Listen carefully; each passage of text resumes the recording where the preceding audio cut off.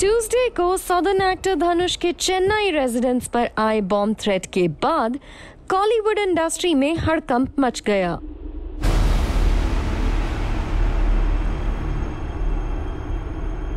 हालाँकि इसके कुछ देर बाद ही ये पता चला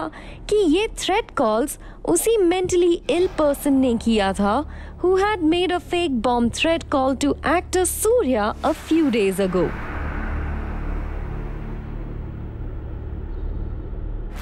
reportedly एक अनोनिमस पर्सन ने ट्यूसडे को पुलिस कंट्रोल रूम में दो बार कॉल करके ये कहा कि एक्टर धनुष और विजयकांत के घर पर बॉम्ब सेट किए गए हैं।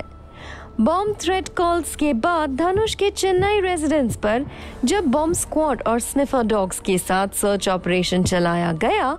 तो पुलिस ऑफिशियल्स को पता चला कि ये दोनों फ़ोन कॉल्स एक ही शख्स ने किए हैं।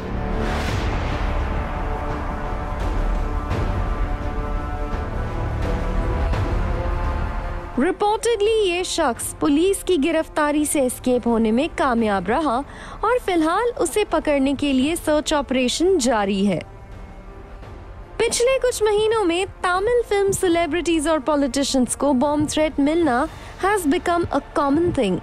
और इन कंटिन्यूस फ़ोन कॉल्स को देखते हुए इन सेलिब्रिटीज के फैंस ने पुलिस से रिक्वेस्ट की है कि वो ऐसा करने वालों के खिलाफ स्ट्रिक्ट एक्शन ले।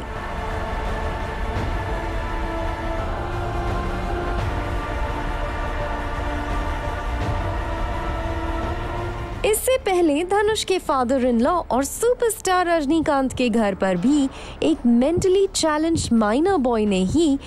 बॉम्ब थ्रेट कॉल्स दिए थे। And after knowing about the minor boys condition Rajinikanth ने उसकी फैमिली को फाइनेंशियल हेल्प ऑफ़र की थी। साथ ही रजनीकांत ने उस माइनर बॉय के एजुकेशनल एक्सपेंसेस पूरे करने का प्रॉमिस भी किया था।